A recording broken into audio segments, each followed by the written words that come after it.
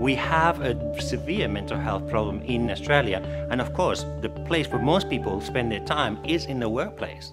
The good news is that finally the government is putting attention in the important issue of workplace mental health, and it is giving it the same attention as physical health. We have always had to protect people's physical bodies. Now we also need to make sure that their minds, their psychological self is also safe. This is not just a good idea or a way to be a good Samaritan. It is now the law. And the courts are getting very serious about this. The law is there and it is there for a reason. And you have to comply with the law. The bad news is that your managers don't know how to do it. Why would they? They have gone to university to study management, not mental health. That's where we come in. We help you comply. We're the kings and queens of compliance.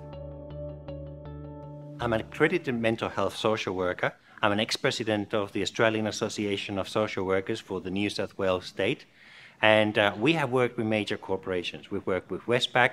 We continue to work with the Echo Group. We work for the Tradies Club. We work for PwC and many other organizations. And this is what my company does. We go into workplaces and we train managers, supervisors, team leaders, executives, and CEOs how to talk, how to approach on a daily basis people so they can create powerfully mentally healthy environments for their people and get the productivity, the creativity, and the results they want from their people. People don't leave jobs, they leave bosses. Your managers can either make or break your workplace mental health program. Sometimes our focus is on those people that are healthy and those people that are really unwell, that can't function. But there's a gray area that most people miss.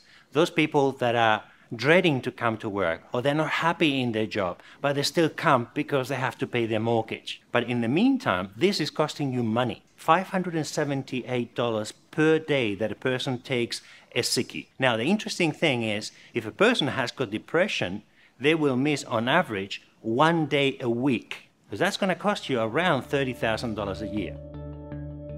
I am Spanish. I'm, I'm, from Spanish heritage, if you haven't noticed by my accent. Mañana in Spanish means tomorrow. We tend to leave things for mañana, for tomorrow. We have to look at this issue now, because in this country, we're suffering from a mañana syndrome when it comes to workplace mental health. Awareness is a great idea, but action is even better. Not tomorrow, not two days from now, but today, because it's the right thing to do, and it's the law.